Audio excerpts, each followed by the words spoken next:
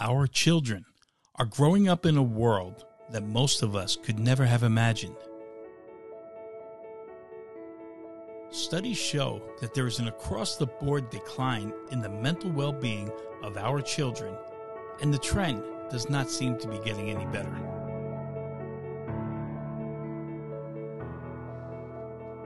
The current pandemic and the many issues surrounding it have led to this decline.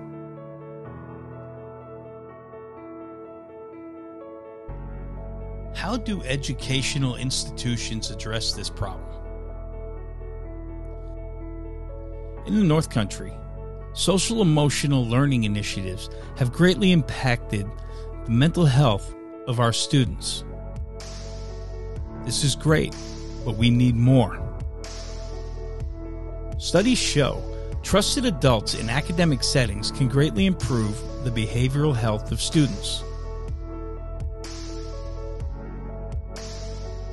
Student Assistance Program counselors provide confidential, caring support for students' emotional needs. This work is really important. It's important to know that there are resources both within yourself and in your community. Techniques we use here at the regional include uh, mindful movement, which is mindfulness and traditional yoga. We have seminars that we offer during the flex time that uh, rotate in topic based on student need and request. We work with NAMI New Hampshire for youth leader uh, training, for peer to peer support uh, for suicide prevention, and we make sure student voice is included in any of the major decisions because mattering is something that's important to all of us, and having your voice heard is part. All Student Assistance Program counselors in the North Country are trained in Project Success, an evidence based program that gives Student Assistance Program counselors the tools they need to identify, address, and provide solutions to an array of student needs. In high school, I always knew that I wanted to help kids, but I wasn't really sure how I wanted to do that. I had friends and family members who went through addiction, and I didn't really know how to help them, what to say, what to do. And now I'm able to help students learn what they can do to help their friends, their family members. I believe that everyone deserves somebody in their corner, and I want to do my part to make schools welcoming, welcoming and supportive. My overall goal as the SAP is to support students regardless of what's going on for them. Knowing who to go to when necessary is really helpful. So that's my main goal is to be someone that the students trust.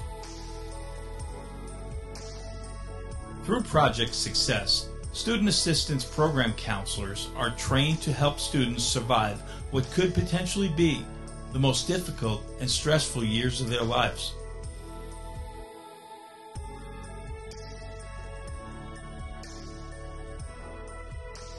A hundred percent, I do it for the kids. They're all incredible, and I want them to be aware of what's out there when they leave Gorham Middle High School, so that they're able to make healthy choices and live their best lives. I hope that the students I work with are able to communicate with their support systems better I want each of them to know that they're not alone and help is always available for whatever they may need.